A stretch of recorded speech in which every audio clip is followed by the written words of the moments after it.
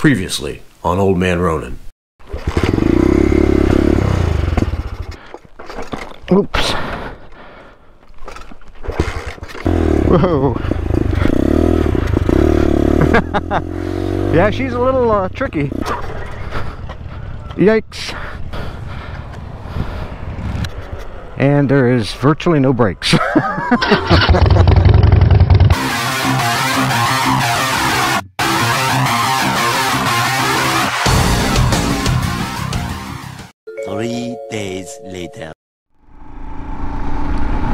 What's up, riders? Old Man Ronin here. Welcome back to the channel. Yeah, it's been a few days since the last video.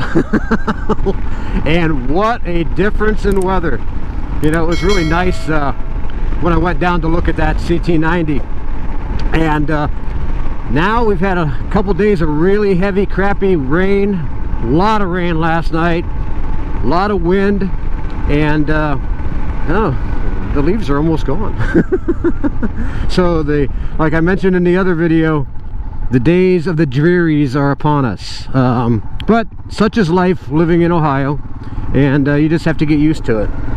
Uh, so, the question of the day is, according to the uh, thumbnail, what did I do? Did I buy the CT90? Well, you can see we're on our uh, Royal Enfield Himalayan, which this bike is perfect for this type of year. It really is. It uh, it loves crappy weather, which we do have. Oh, looks like somebody was playing uh, Mr. Burnout here. Well, that's not really smart, considering he almost went in the ditch right there. Well, what are you going to do? But the question is, like I mentioned, did I buy the CT90? Well, before I actually answer the question, let's talk about some of the pros and cons. And let's start with the pros. It's a 1967 CT90. And one of the reasons why I went down to look at that particular motorcycle is because when I was growing up, I think if you remember from some of the other videos that I've done, I told you I had a Rupp 100. That was my motorcycle that I rode from the age of six to, uh, uh, well, I kept it until um, I was 16 or 17. Uh, uh, then it, uh, by that time I got rid of it, but that was my motorcycle. However, my neighbors, there were two guys that I grew up with, and one of them had a 67 CT90, and the other one had a Honda Dream 90. And those particular uh, motorcycles were a lot of fun because we traded back and forth. At that age, you know, we'd ride each other's motorcycles and stuff like that. Mine was more of a dirt bike, and uh, uh, the CT90 was more like a trail bike. Obviously, that's what it is, uh, you know, a Cub Trail. And then, of course, the Honda Dream was a street bike that my my uh, my buddy uh, put knobby tires on it and rode it off-road. Kind of like I did the Harley when I got when I was 14. But until then, but I really enjoyed riding that uh, CT90 when I got a chance, and it has a lot of uh, has a lot of memories in my in my head. So I, I really, when I seen the thing, see the deer and the buzzards. When I seen that it was available for sale, and in particular it was a 1967, I really wanted to go check it out. I wasn't sure the shape. The pictures made it look like it was in immaculate shape. So that turned me on a little bit. The price was a little bit higher than I expected, but I wanted to go down and see the bike because I really loved that CT90. It was a fun motorcycle back when I was a kid. So that's something that I really wanted to bring back uh, into the memory part. You know, if I could find a Rupp 100 today, I would buy it as well. I mean, obviously if it's in the right price range. Because I love I love that nostalgia that I feel. And that's what this Royal Enfield Himalayan does to me. It brings me back that nostalgia of, uh, of having a motorcycle of my youth. And uh, like I say, I'm always on the hunt for an XLCH. Um, I'm always on the uh, lookout for a CT90, a Rupp 100, or even a Honda Dream 90. One of those type of motorcycles because it does bring back now, and it goes, it's purely emotional. So that was a major pro. The second pro is I thought if I could uh, get it and it's in decent shape, that uh, I could get uh, my wife to ride it because she really likes doing some of the trail stuff as well too. So that was another aspect of it. So that was another pro. So between those two and the fact of it is that it really is a great motorcycle. I know a lot of folks, particularly Harley, Harley riders like myself, don't like Hondas. I, I really, I've had a couple Hondas in my life, um, that's not a big issue for me. I don't really think, even though I, I'm a proclaimed Harley guy, um, I will ride anything and everything because I just simply love motorcycles more than I love name brands. Does that make sense? However, if I do have a name brand that I'm going to hang to, um, it's going to probably be Harley Davidson.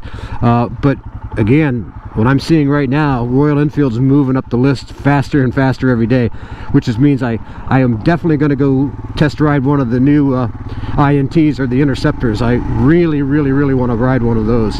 So, as far as pros, we've got the nostalgia part the fact that it's a Honda and it's a very well made machine is number two. And the fact that I wanted my uh, wife to ride it as well too. Those three things I'm fogging up here so I'm gonna have to open this up again.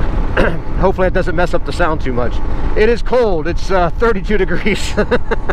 Which again that's perfect weather for the Himalayan. So those are the two pro uh, three pros that uh, I think are the most important when we're talking about why I went to look at the bike Now the cons. Well,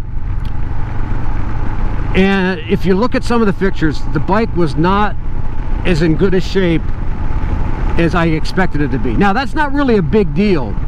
I can fix motorcycles, uh, especially carbureted ones. that's kind of my specialty.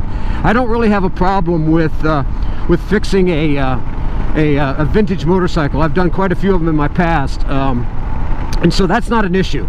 Um, Parts availability, that is a major con. Parts availability for the CT90 is not as prevalent as for other models. Now, you can still find parts and aftermarket parts, particularly the engine he put on it. He put 125 uh, cc as opposed to the 90 when it came in. And a lot of guys are doing that. They take those race motors, which is what that was, and they put them in the CT90 or other motorcycles from Honda and make them run faster and things of that nature. And that's that's a plus. I guess that I should add that to the pro list that it was a 125 newer engine that he put in. But to get back to the con, I want something that I can restore. I don't want something that I can hot rod because I'm going to hot rod something. I'm going to hot rod a Harley, or you know, if I could find a uh, a, uh, a Royal Enfield uh, 500cc bullet or something like that that I could restore. That would be kind of cool too or a Triumph. I really love Triumph motorcycles as well. Uh, I would do that as well too. But the fact of it is the con was that it wasn't as in good a shape as what it was let out to be and that's a major con for me. Um, it uh, it was pretty rough in a lot of situations. When uh, I went there and called him on the phone I said you know hey um, is the bike able to be test rode? Oh yeah, yeah, yeah, yeah. I, I have it running. I have it running. Well, the second major con was it was kind of a con to begin with that I I mean it literally had virtually no brakes and then when I got down there I found out that he had not ridden it since he put the engine in and that was like two years ago and um, ah, I mean the fact of it is that the uh, the clutch wasn't adjusted at all the fact of it is that the brakes were non-existent. The tires uh, he actually are filling up when I got there which gave me a little thrill. Uh, they were original tires on it. Um, the speedometer didn't work. So no brakes clutch out of adjustment. Um, all that stuff can be fixed. That's a that's a fact. But the fact of it is that it wasn't in the shape that I was told it was in the shape and that was a major con. And the fact that it's not been ridden. The first time that I rode down the road was the first time that thing has been seen anything over pushing speed in several years is a really big con. And uh, you can see the issues that I had trying to make this thing go down the road. And all I wanted to do is to see exactly how the bike would perform based upon clutch, things like that. And that way I can have an idea of how much I actually had to do with it. And that thing needed a total rebuild. So that's major con number two. Number three con was the fact that the price was way too high for what it was. Now I appreciate it was a 1967. We're talking over a 50 year old motorcycle. But the fact of it is that that kind of money, I could have bought a brand new one for he was trying to sell it to somebody that didn't really understand how much money it was going to take to restore it. And it's not like a CT90 is high on demand for people in the uh, collector world, if you know what I'm trying to say. That's not a highly collectible motorcycle. Um, I could have got, uh, you know, any of those Cubs back in the 70s or 80s or whatever uh, for uh, a third of the price. And that's a, that would be a high price for me. But again, I thought the thing was pristine. And if it was pristine, yeah, that would have been, I would have still had to dicker on the price a little bit. But the fact of it is that it was priced as a total re re restoration and or an original. And uh, it was not.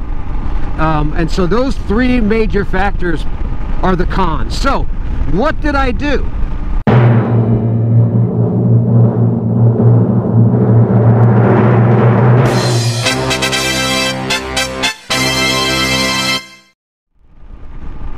Did I buy the bike or did I not? Now I did talk to him for quite a while afterwards. And I guess what I'm going to say is, no, I did not buy the bike.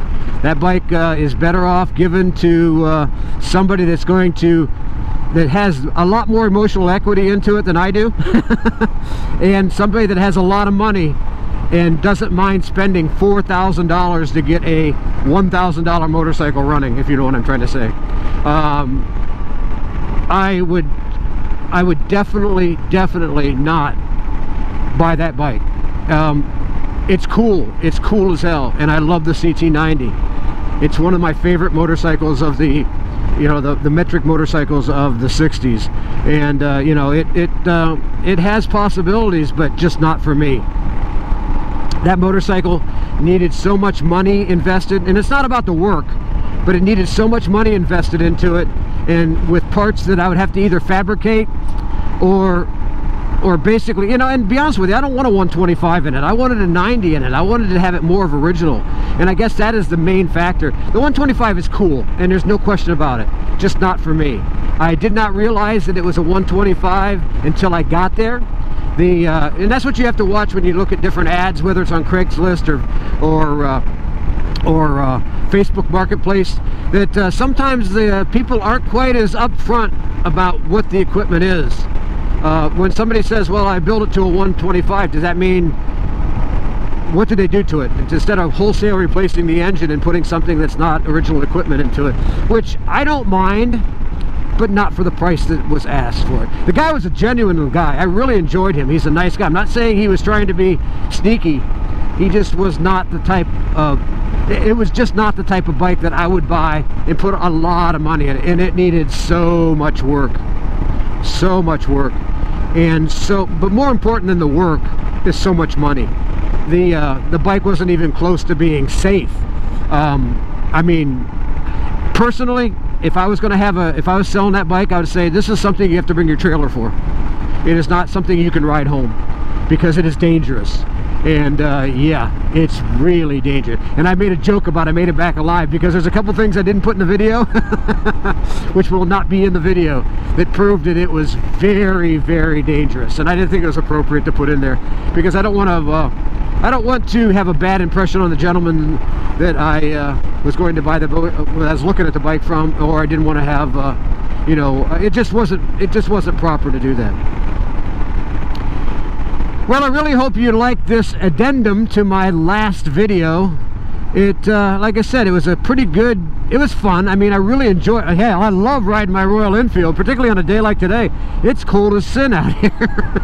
but yet, I'm out enjoying myself, riding my Royal Enfield on a nice curvy road. You can see the colors are a lot different than they were the last time I was out just three days ago.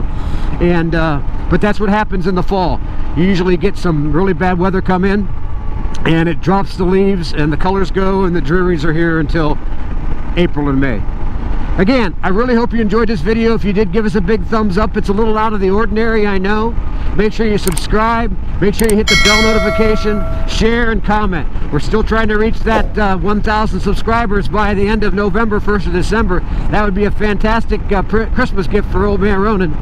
Well, until next time, ride safe and keep her on two wheels, baby.